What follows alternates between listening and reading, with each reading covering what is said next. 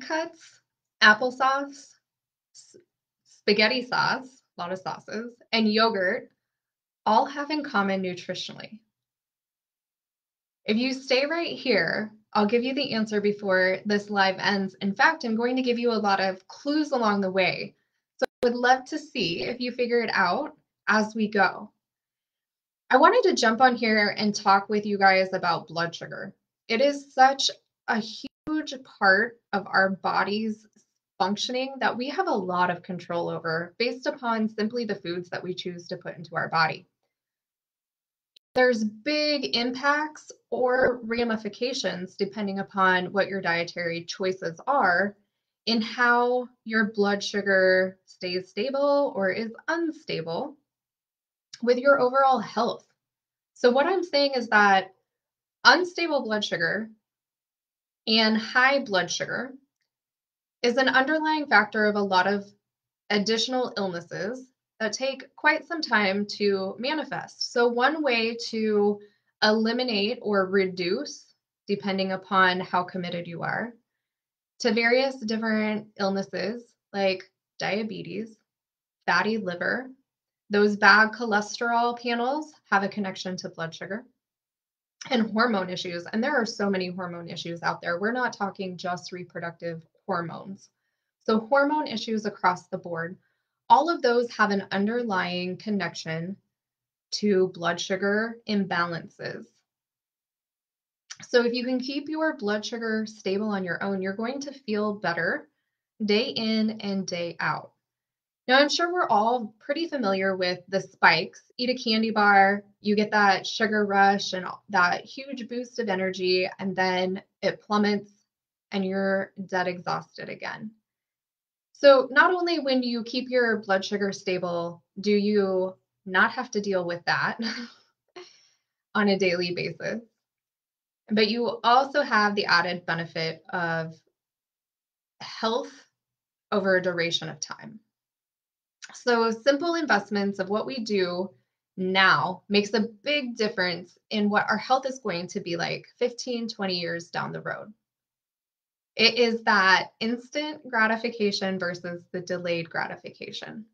And everything in balance or moderation, right? So I'm not going to tell you to not eat sugar. In fact, I'm here to give you one tip, one easy tip of something that you can eliminate from the food you purchase. And it can be that simple to keep your blood sugar in check and on track.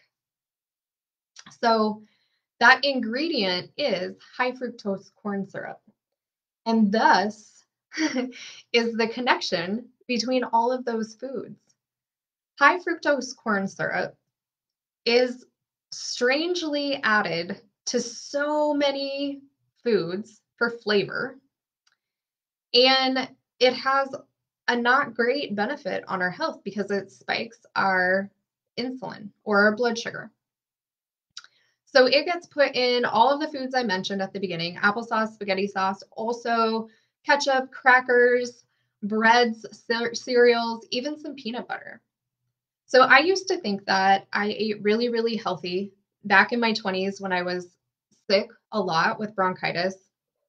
I ate my chicken, I ate my vegetables, I ate a lot of dairy. I thought I was doing all of the right things.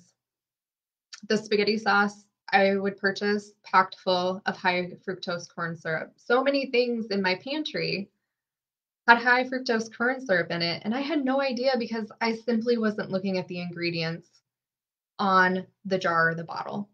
Now, I know that can kind of be tedious when you get started to go through the grocery store, store and as you shop for all of the items to turn the container and look at the actual ingredients. But if you don't, you will never know if it has a real source of sugar or a you know high fructose corn syrup type of source of sugar in the product. And I, I'm not here to necessarily promote having sugar, but when we buy processed foods such as spaghetti sauce, yogurt, it's just in it. It's part of the deal if we're buying those things. So, one way that we can make it healthier for us is making sure that we're buying those naturally uh, you created products or the brands that are using real ingredients. I like to call them real ingredients. Simply read the ingredients. And once you get a feel for which companies are making their products from wholesome foods, you know, it's a, it's a quick learning curve, really. Like it might be a couple shopping trips to the regular grocery stores that you go to, and you're going to get it down. You'll know which brands you can trust and which brands you can't.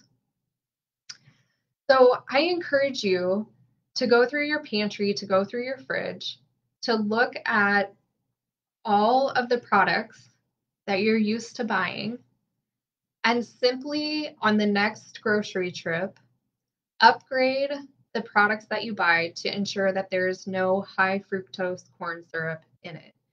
Now, what high fructose corn syrup can lead to within the body, we've talked about a few of them. So, diabetes, of course, if we're eating too much sugar, especially the, um, I don't know, like super sugars. I'm not even sure what to call it because it's so strong, it's so condensed. Um, it can also lead to fatty liver, which I also mentioned.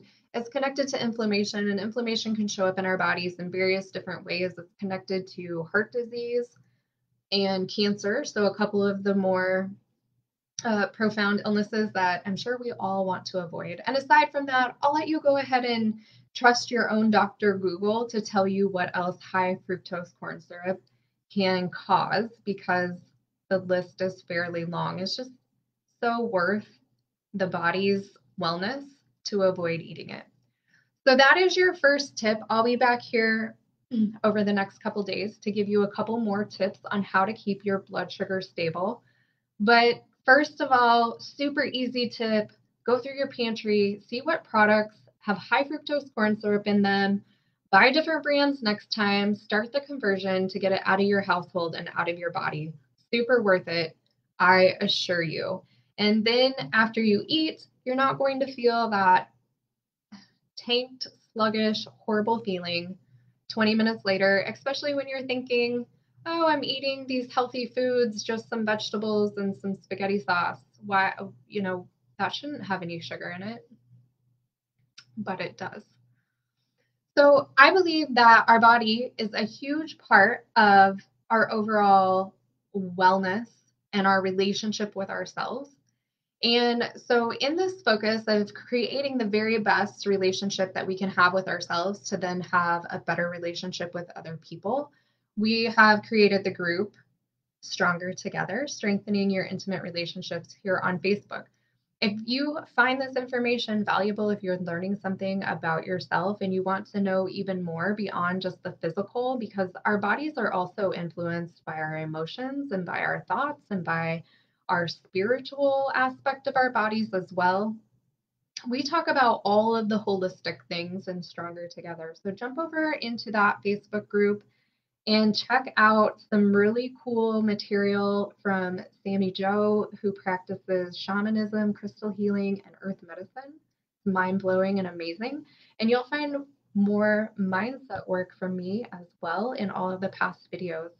So get in there and check out your um, the events and the past videos. Sorry, I was reading a comment and my brain totally glitched out. Shannon, thanks for your question. So I don't have a favorite healthy brand of spaghetti sauce, unfortunately. Um, it's an like it's an off brand. I don't know what to say. So as I'm stumbling, most of the things that I will say is back when I eliminated this from my kitchen, which was um, eh, probably a decade ago, there's been so many more brands and producers get on board. Even ketchup, for instance, Heinz ketchup never used to have an option for um, not having the high fructose corn syrup in it.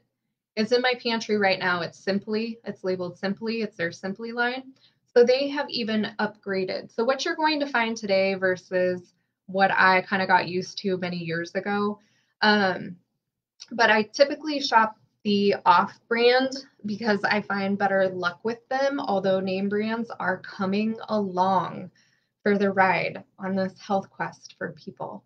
Um, so just check just check and see. And also, you know, there's like garlic or and I'm not a garlic fan. So it also depends on what your favorite flavor. I really like mushrooms in my spaghetti sauce and I do a lot of marinara. So not every brand offers the same um, flavor options either. Just find what works for you. Oh, Sherry, do you have one? I love it. Rao's. Cool. Thanks for dropping that in there. I really appreciate it. So yeah, you can check that out. I also know, um, you know, in having grown up in a town of 400 people in rural Nebraska, rural areas, and sometimes you're just lucky to have a grocery store and you're just lucky to be able to purchase whatever you need to make the meal for the day as well.